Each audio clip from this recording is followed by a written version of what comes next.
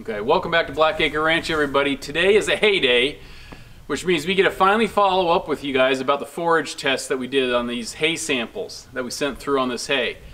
And the question is, can you tell a difference and which one is better, this hay or that hay?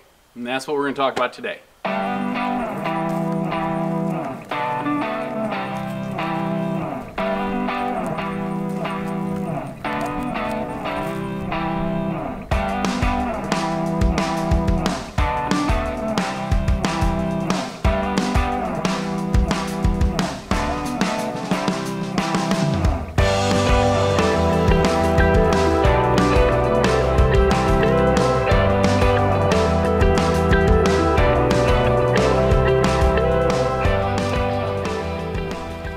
Three weeks ago when I was getting three, uh, whatever, it was a while ago when I was getting all 124 bales of hay, hay lady showed up afterwards and she delivered the 20 that I've been waiting for. And I asked her the question, while we were standing over there 50 yards away, I told her, you know, one, I cheated on you. I got somebody else's hay. But I asked her, I'm like, so I don't know if theirs is good, is theirs good or not? And she goes, no, I mean, ours is better, you can see it. And so from 50 yards away, she said hers was better. And there's this red. I'll get out of the light.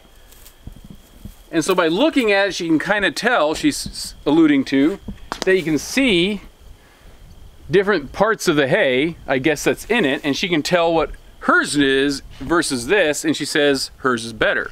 Let's look at hers. So this is hay ladies, okay? It's not quite as green, not no red in it, no nothing. So the point is, when you look at these things visually, she said hers is better. She saw what the other one was, and I'm gonna say, can you really do that? So this is what I want to debunk today is I don't believe visually you can adequately tell the quality of your hay. You may get a general rough idea, but I don't think visually you can say, bam, I know exactly what's in that and I know how to go ahead and feed my animals based on that. Now undoubtedly there's some of you guys who are younger, that don't have a clue like me and that you're like, totally man, I'm totally there with you. Some of you might be older and more experienced with hay and you can say, hey, that one's good, that one's not good. I will tell you, when I got the results back, I would not necessarily say hay ladies is better. So visual inspection, even according to a trained eye of a person, yes, may be biased, you can't adequately tell which one's better. Unless you want to just say, eh, it looks better. But when it comes to feeding your animals this stuff, you've got to know more about it than, hey, this looks good. So a number of episodes back, we got ourselves a hay core sampler, okay? The hay core sampler is to go ahead and take a sample of the hay to allow you to send it off to a lab to get the nutritional value of the hay because I don't care what the hay looks like. If that hay rocks it on a nutritional analysis, that's good hay. So visual stuff, I don't care. I can't judge that, all right? So we took that hay, and it's just a big, long 20, 24 inch probe. You just put on a drill and you drilled it. And this is the hole of one of the bales that we did it on. And it's very simple. Put it in a baggie, mail it off, and there you go. In a couple of days, you get your results back, and now you have what really matters when looking at hay. You have the nutritional side of it, and that is what you need to know to know whether or not that hay is good or this hay is good. All right, so this is our hay results. Boom! Okay, so there are three samples we took because the first we had a samples from the 124 of the dude that we got, call him Jack. Then we have Hay Lady, she had two batches, one from earlier delivery and one from a later, and I wanted to test them both just to see and make sure. And this is the results that we got, okay? Column A, the first one, is the 124 bales. The not good hay based on visual inspection 50 yards away. The other two columns are hay ladies, which she said was the good hay. All right, now, when you're looking at animals and you're looking at these hay forage reports, you can get all different kinds of information. There's tons of acronyms. There's protein, ADF, NDF, TDN, energy this, net energy, there's ITV, VTV, whatever, and there's whatever. It goes on and on. And I got this and I said, what the freak do I do with it? I call up the lab guy and he's like, oh, I'll send you some articles. Well, I don't want a definition. And all these articles did was TDN means this. Well, that doesn't tell me how to use it. So I'm gonna kind of tell you a little bit of what I found by geeking out and stressing out my whole life for one day, reading every freaking article there is in the world on stupid forage stuff. So this is what it boils down to, all right? These are our numbers. When it comes to buffalo, they're different than cattle. Cattle have very specific available numbers for their nutritional requirements, okay? Keep in mind, this is all whatever the animal eats turns into food and digestible stuff that they can get, and that's what they produce their whole life around, right? I mean, they get stuff, they grow, they lactate, they whatever, all right? So as long as what they're eating is good, you're fine. If it's crap, it's not fine. So on a buffalo, they have just generalized numbers. Okay, the two that you need to worry about is the crude protein amount, percent, and the TDN, the total digestible nutrition, as a percent. All right, those are the two values when it comes to buffalo. All right, on a forage-based system. All right, crude protein, an animal needs to be able to have so much energy or protein at different stages of, of development and time in, in a year. Okay, I'm going to cover that some other time. If you're at least around 8%, for the most part, just spitball it, I'll go more detail later, you're doing okay. When you look at these numbers, the only one that meets that is the 124 bales. Okay, Hay Lady is 1% too low. That means if I feed these animals Hay Lady's hay, they're not getting enough protein to grow. They're not getting enough. They're not, they're starving. You're, you're almost malnutritioning them, okay? 124 bales had 9.7. So when you look at it on a hay thing, you say, hey, good hay, average hay, poor hay, fair hay, great hay. This 124 bales here is on the just the cusp of good hay. The 7% is on I think it's called fair hay or poor. Okay? So there is a difference in quality, not visually, you got to look at the numbers. The second number is the TDN, total digestible nutrition. How much of the stuff they consume in their body do they get energy from? Do they digest and are able to use? Okay? And they need so much to maintain their body then they need so much extra to grow, and in the case of women or cows, so much extra even to lactate and to produce good milk. Okay? So bare minimum amounts. When it comes to buffalo, generally, again, I'm going to go over more detailed numbers later at some other video. Generally, if you can hit about the 55%, you're doing good for the most part, okay? Just go with that for now. All three of them in fact, hit 55% about. The first one was 54.6, I think, if I remember, 50, whatever. Just at about the 55%. Hay Lady was 56s, I think, you know? So she's doing pretty good on that, but the protein level wasn't there. And so when you're looking at it, the buffalo need two things, protein and energy. Protein level, if it's not sufficient, you have to supplement.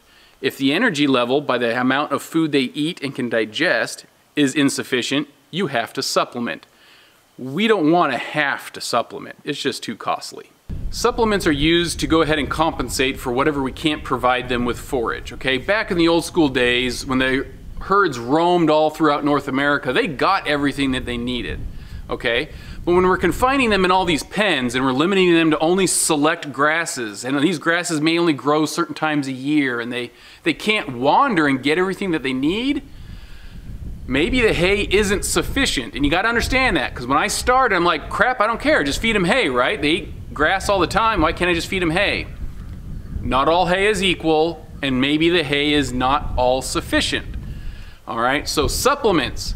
Supplements are based on a different type of energy analysis than forage is. So when you come to forage, TDN, total digestible nutrition, is a sufficient method of estimating the energy levels that are needed for the animal. However, that method does not apply when you're looking at supplements. It grossly underestimates and it's just not good. So when you go to supplements, you'll see here on our list from our report, it lists energy for maintenance, energy lactation, energy for gain, net energy, that, you know, all this kind of stuff. That's for you to use for supplements. Okay, that's really where that comes into. But when it comes to just forage, protein and TDN, those are the two main ones that you need to know. The others you use when you're doing an assessment based on energy. And there are some conversions. Go figure it out if you want. Good luck. You know, just it's just nobody has the answers. But that's where you apply that to supplements. We do have to supplement here some. I don't like to supplement a lot. A lot of times people just use cubes. 20% protein has some stuff. I want to start diving in more to figure out do I need those cubes? How many cubes? How much supplement can you give per feeding before you kind of start messing with the animal's digestive tract? There's all that kind of sort that can kind of come in. Generally, yes, go grab some cubes, stick it out there. That's the easy answer. But I just want to encourage you if you're going to do this, get into the analysis of the hay and the type of feed and the energy level requirements and so forth. You can save yourself money and you can make sure that your animals are getting what they need. The reason I bring that up is because, like I said, when we started, I'm thinking, well, just give them hay, right? Done. And, and people had said, go take, you know, you should really test your hay and just know what's in it. And I'm just thinking, like, well, does it really make that much of a difference? It can't be that bad. Well, I was stupid, okay? I think people sometimes will tell you, hey, you should go test your hay, but that's all it is. It's like a comment. And, and, when you're new, you just don't think, oh, how serious really is that? Okay, well, you know, I'll get around to it. Well, it's freaking serious. The reason why is when we started, we had hay, and I bought them from Hay Lady. And this was horse quality hay. This was like $90 a bale. It was expensive hay. It was good hay, okay? We got our animals in March. I burned through those 30 bales animals are looking good. The rain has been coming. They eat the forage off the grass. And I mean, just everything's great. Then the rain started to slow down a little bit. I ran out of those first 30 and I got her other batch that we just tested. And I've been feeding them the same. And the buffalo just didn't seem to be doing as good. Spring. The wet spring started a parasite issue. A lot of people had some bad parasites this year. Well, we got hit too. And we fell a victim to that one. Okay, so on top of parasites being a problem and getting a little bit behind on treating them quick enough, the hay wasn't good enough. So after we treated them and we're putting all this hay back into them, it's like they have the food, why are they not gaining weight?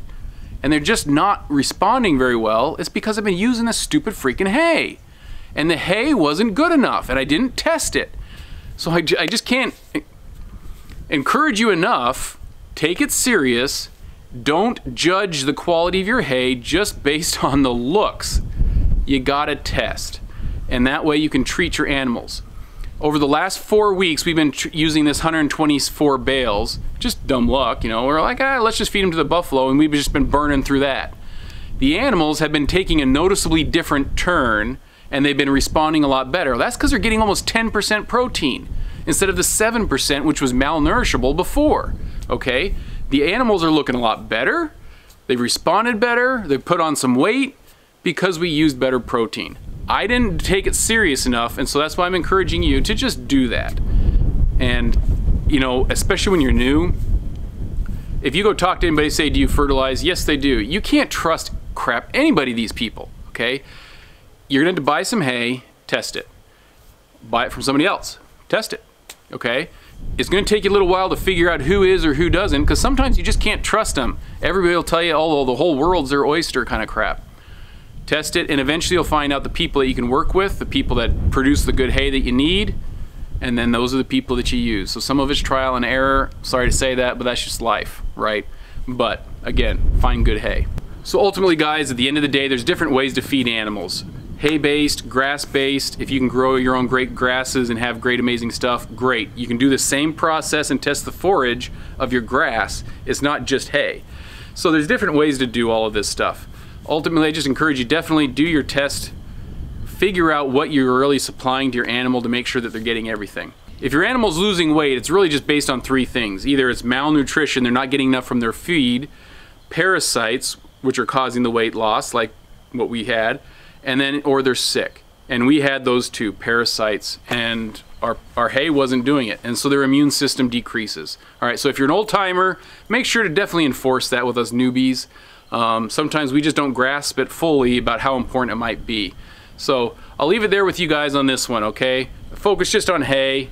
Um, if you like this kind of stuff, I'm trying to be educational in some of this and tell you guys some of these things. And I know it's not the whole grandiose B-film, B-roll kind of footage and music, song, and dance crap and my puppy over here doing whatever, okay? I get that. But I'm just trying to give you some information. So if you like this and you want more details about feed and the feed analysis and percentages, leave it in the comments, okay? Remember to like and subscribe. We'll catch you next time on Blackacre. Bye.